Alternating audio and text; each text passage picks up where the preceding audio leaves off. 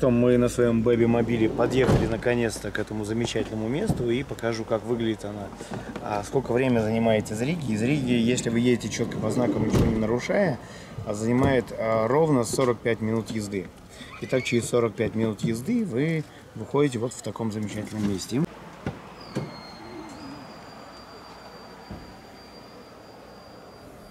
Ну и мой вам совет, если уж сюда приехали, посетите вот эту кофеюшку, которая находится за мной, потому что мы здесь были, по-моему, с десяток раз. Всегда здесь было вкусно, всегда недорого и всегда очень хорошие воспоминания об этом месте. А, попробуем показать почему. Идем для начала подкрепимся и посмотрим, чего нам это будет стоить и чем нас будет сегодня вести.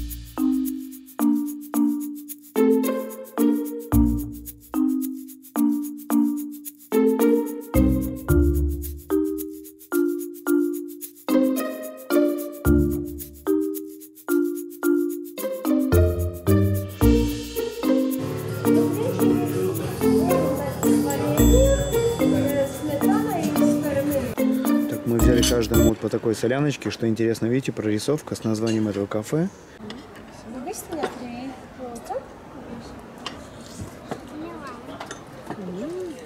Вот такой карбонадик. Обратите внимание на порцию. Она просто гигантская порция. Потому что это полная Что у тебя здесь? А у тебя половиночка. Вот это полпорции детской выглядит так. Да? Сейчас мы оплатили нашу еду. Напомню, что у нас 5 человек, 2 взрослых, 3 ребенка.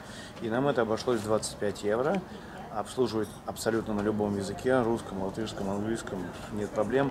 И все настолько классно, потому что, насколько я вот понимаю, это семейный бизнес, и здесь люди действительно бизнес на первое место, все остальное на потом. Вот, и здесь всегда очень вкусно, всегда очень позитивно, и когда мы мимо едем и планируем какие-то маршруты, мы обязательно планируем это место. То есть обязательно сюда надо заехать, потому что воспоминания здесь всегда были обалденные. И это вот позитивчик, он радует. И мы уже здесь, наверное, могу ошибаться, но лет пять, наверное, заскакиваем и здесь кушаем. Вот такое приятное место. Что здесь интересно? Здесь немножко занялись ландшафтным дизайном. Он очень интересный. И это придорожное кафе. То есть обычно в придорожных кафе не заморачиваются и делают все гораздо проще. Но здесь такая деревушка, и люди как бы землю любят, и свое дело тем более любят. Поэтому готовят хорошо, и позитивом здесь очень пахнет. Понравилось это кафе? Да? Так, итак, вышли из замечательного кафе. И сейчас движемся в местную достопримечательность. Что мне здесь понравилось? Во-первых, понятно, что такая деревушка, скажем, глушин, глушь латвийская. Поэтому здесь кафе, а не рестораны. То есть, если здесь наложат вам порцию, то вы сто процентов ее не съедите, неважно, а какой вы весовой категории. И ребята на полученную прибыль не покупают себе Бентли, а вкладывают в достопримечательности. У обычного придорожного кафе немного вариантов, почему надо остановиться и заскочить туда. И сейчас я покажу один из вариантов, как они красиво это обыграли. То есть у них так получилось, что у них есть кофеюшка, и рядом есть просто каналы. И вот что можно сделать из обычной канавы, насколько круто там может быть. Сейчас мы пройдем туда и узнаем. Сколько стоит билет? Взрослые 2,50 и дети евро 50. Взрослый стоит 2,50 и взрослый. А сколько с нас? 10 евро? Ну нет, там что-то, по-моему, первая Семейный билет. Ну идем посмотрим. Так, узнали немного больше информации, как я и ранее говорил, не ошибся. То есть это кафе и эта мельница, она принадлежит одному семье, причем принадлежит достаточно давно, еще до революции она принадлежала им.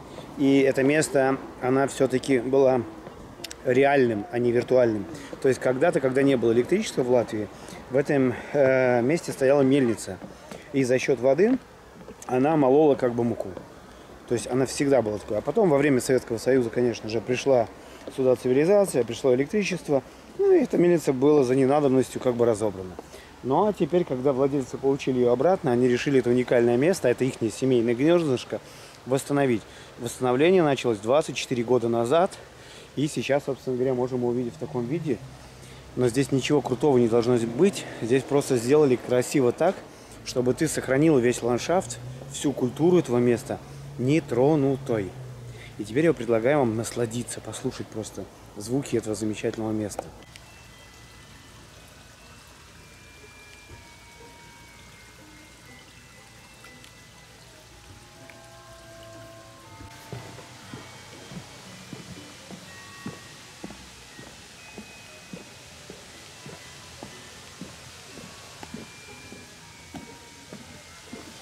Входим в зону водопадов. Все водопады здесь реальные, здесь их великое множество. Это чистейшая такая, ну, назовем ее горная водичка. Ну и что такое флористика, здесь люди действительно знают. Типа для старых людей предусмотрены такие вещи, чтобы мог подтянуться. И вот он водопадик.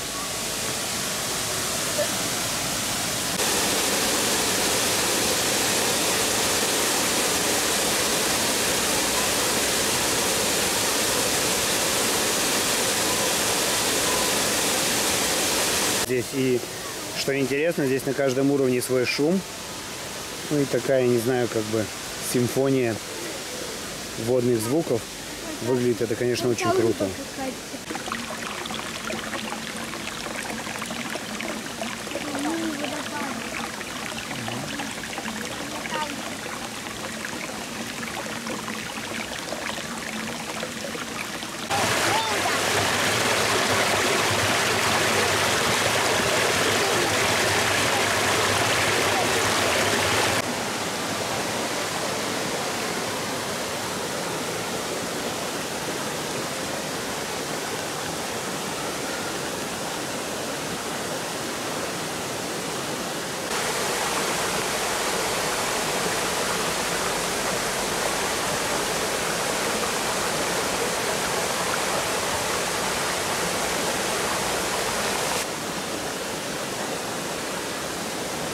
Прикольное место для релакса. Приезжайте сюда в темное время суток, здесь куча всяких анимаций под цветовой. И тут есть чем заняться. Тут просто у нас нет с собой каталога, чем конкретно здесь можно заняться. Но тут видно, что здесь можно ходить и искать разные достопримечательности, которые придуманы. Например, как недавно вы видели эту голову, которая находится в воде. И этих голов тут несколько штук, их надо все найти. То есть они где-то спрятаны, такие как злые гномики. Вот, повелители воды, их нужно искать. Прикольная штука для старичков, чтобы они могли держаться. Обозначение желтое, осторожно, перепад. Ну и ты фактически идешь вдоль такой речушки красивой. На каждом уровне, повторюсь, свой звук воды, свой порог. Угу, видел.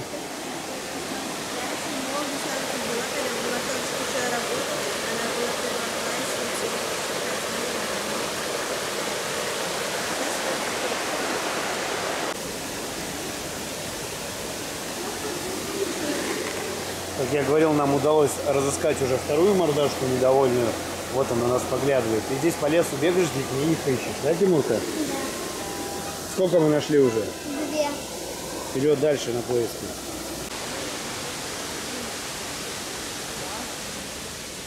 А у меня там...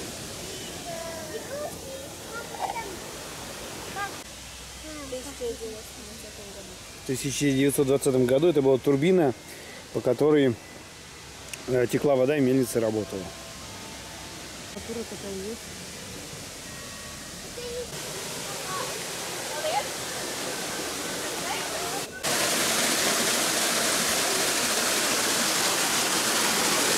Не правда ли очень сказочное место?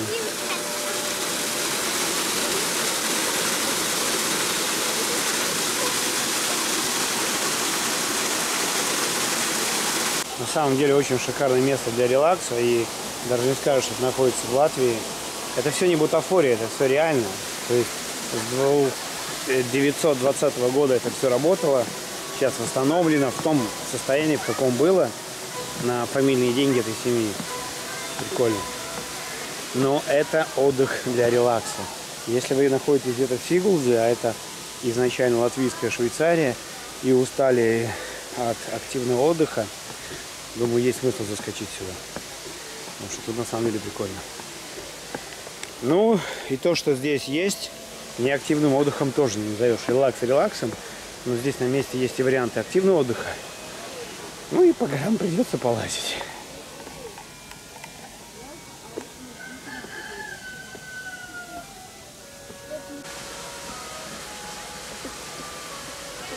Поскольку это, конечно же, семейное гнездышко, то у каждой семьи есть свои скелеты в шкафах и свои истории.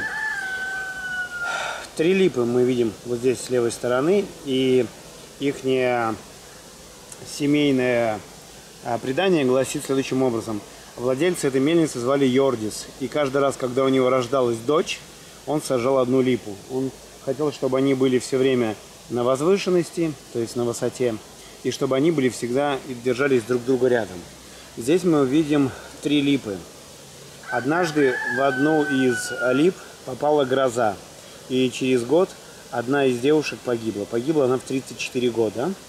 И осталось, как можно видеть, э, три липы. Вот толщина ствола. Две э, умерли, 86 лет и 87 лет, а одна из девушек живет по сей день. И сейчас ей уже 94 года. Соответственно, этой липе 94 года. Вот такая их семейная история.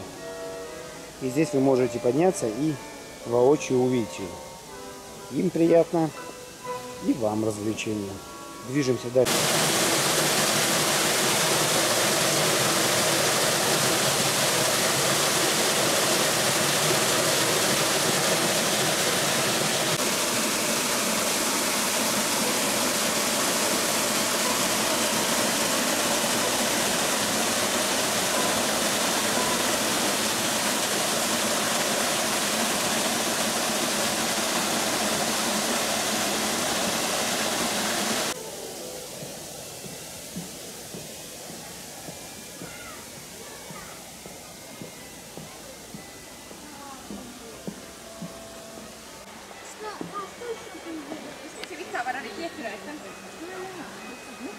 はい。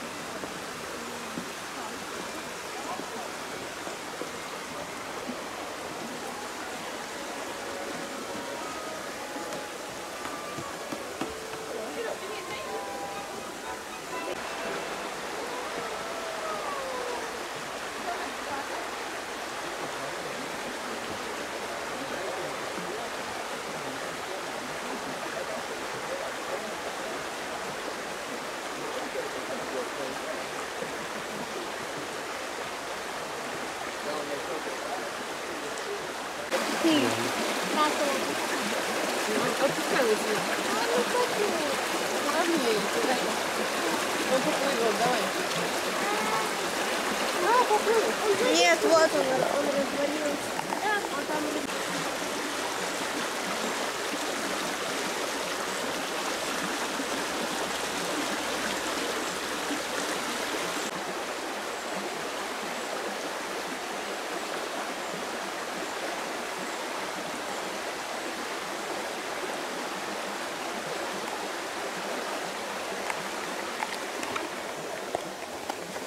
позволю себе еще немного поболтать.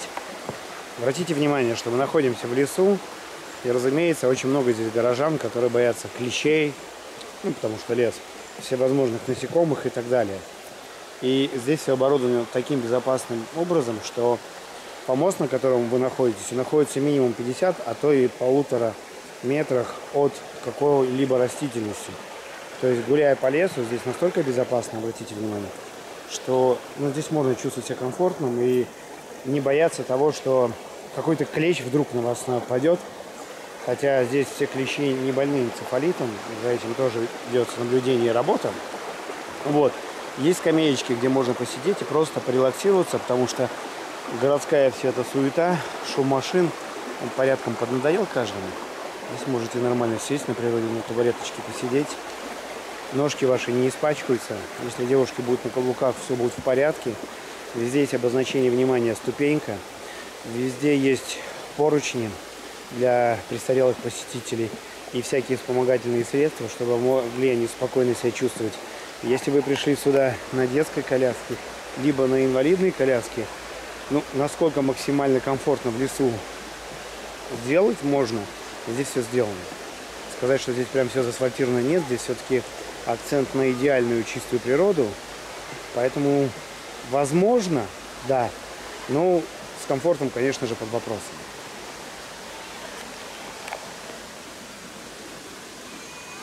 Еще такое замечательное местечко.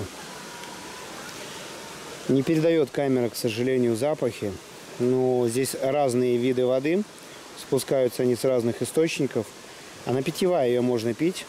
Та вода, которая мутная, это был ночью дождь и, соответственно, слишком большое обилие воды сегодня. Видите, вот маленький источник воды. Сотни их здесь. Есть места, где это все цивилизованно оборудовано. И есть кружечка, где можно подойти и попить чисто родниковой воды. Или увезти ее с собой. Приезжают сюда молодожены. Приезжают сюда уставшие от города люди. Или просто парочки с детьми. Здесь разные маршруты. И разные вариации семейного релакса.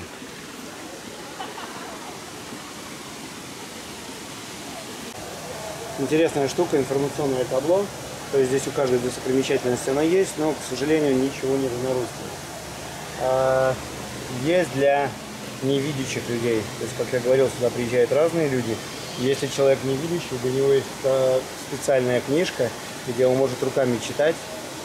Я не знаю, как это правильно делать, но об этом месте он может почитать и также насладиться. Здесь специальные кресла на такой интересной терраске, где можно порелаксировать в разные вариации. Например, вот это.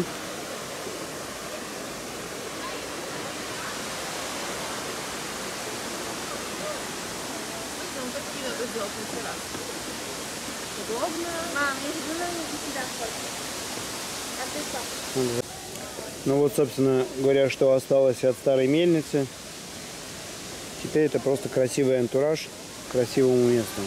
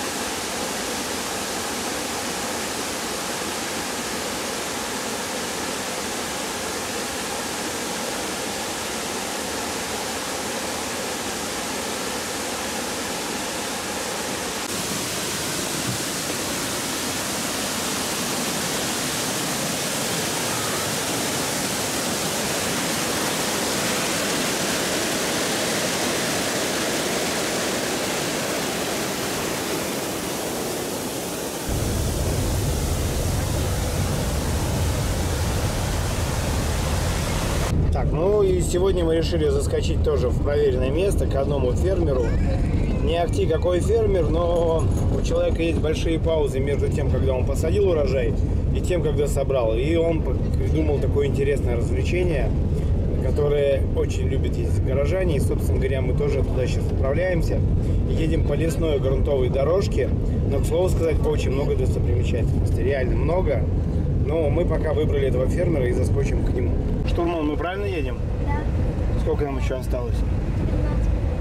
13 минут по этому лесу ехать? Да. Значит, от дороги 13 минут нам чесать по этому лесу. И дорога такая интересная. Осенью я бы сюда точно не поехал, но летом она, в принципе, нормальная. Zilolap, hoe je goed hoe je links to zilolap. Что, не слышу? Так неудобно. можно. Так, вот так выглядит настоящее латвийское крестьянское хозяйство. Я думаю, оно ничем не отличается в глубинке, что от российского, что, наверное... Не, ну немецкое, конечно, будет более цивильно. постсоветских пространств, они все одинаковые.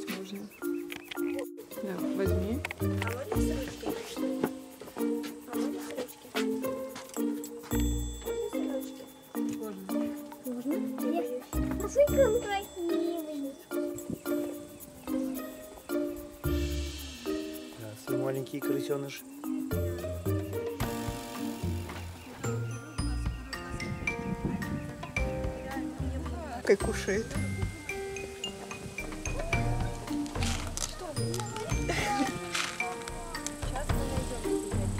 Но у него нет рогов, он хорошенький. Он не кусается. Но он что-то есть не хочет. Надо его покормить. Кушай, тебя не дает. А, смотри. Будешь кушать? Он меня кушает. Да, да.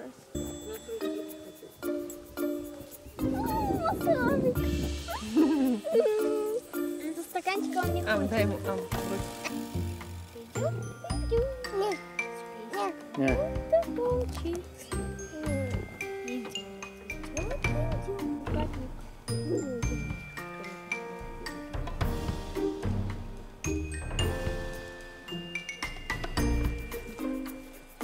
Мы заскочили к этому известному фермеру, к которому все приезжают, и нашли здесь семейку блогеров, которые из России. Вы из России, да? Да, А что у вас за канал, расскажите. у нас канал Арина и Регина.